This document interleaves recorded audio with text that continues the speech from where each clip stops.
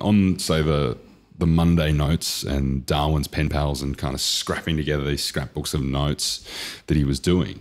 The thing that I really took away from that was the, there's an act of writing things down, and there's an, also an act of building almost your own encyclopedia that you understand, that you know your way around. And and so for me, I use Evernote to do that. And just now, that was that kind of really emphasized to me the importance of continuing to take the notes. Mm. I love Evernote because of the tagging system. Well, you've got me onto Evernote now, mm. um, so I'm going to try and learn it so I can get better at note taking because mine are all over the place. And I go, I go back to, I go back to notes. You know, when I first started using it, I'm like, where's all my tags on this? You know, I'm missing all these different tags. Well, the system kind of develops, and you build this this continual network of different things. You, you then can, you know, that's kind of a digital version. And I think there's something lost going from the physical to the digital. But with the digital, you've got efficient searching. I think mm. it's faster to capture things and whatever, but you miss the kind of tactile, being mm. able to see all the pages spread yeah. out, nature, yeah. yeah. which hopefully isn't too big of a drawback because then you compare it to the likes of um, Robert Greene's or Ryan Holiday's system for writing books, like what, what they do to gather their. I don't know that. What's that? So as they're going through books, you know, they, they will conduct a process of writing notes and things. So this is this is very much that conversation with the author. So whenever you're reading a book, Farnham Street blog writes a lot about this, and Ryan Holiday writes about this. Lots of different people write about these different things, and you can search all that pretty easily. There's actually a really good book written called How to Read a Book. That's the, cool. The author's name escapes me right now, but he covers off on this type of stuff.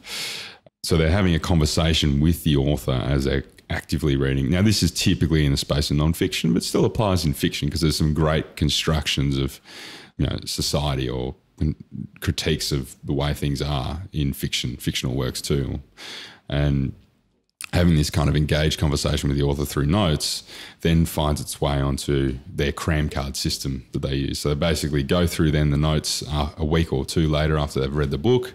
See, that gap's good. The gap is so important. There's, there's something about the space and mm. the time because when you're coming back to these notes, you you're in a slightly different mindset. You're in a different place to when you originally read it, and some of the stuff will be garbage. You just toss it out or ignore it completely. But some of the stuff will definitely stick, mm. and that's the stuff that they capture or that they want to write, and they you know you can read more about his process. There's a lot more nuance to it, particularly how they group things together and whatever. But this is how they go to build up the information for writing, you know, some of their masterpieces like 48 Laws of Power by mm. Robert Greene you know, employed this very system to how he got to write that book. That's cool. So now there's like emphasis on a digital version of that to create your own mm. Cross domain network of knowledge. Damn right. And you know your way around your network mm.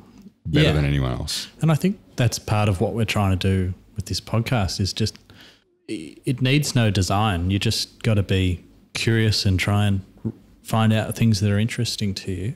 But the key that once you do f- read something, uh, I believe, is that you connect it. It's no use if it's a node in the middle of floating in midair. You've got to try and just start to feel out what what is this like? What does this concept remind me of? Where else have I seen this? And you can start to make connections in your mind. And that started happening to me more recently when I've upped my reading game a bit. Is that I'll start to feel this thing, hey, that's a bit like that. You know, that reminds me of X, reminds me of Y.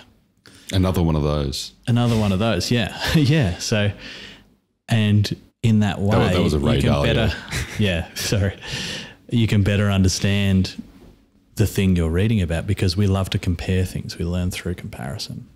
You know, like how we can see one color better on top of another unless you're colorblind. And so you can start building this network up and you better understand both sides of the node that you're con- you've put the connection from one to another.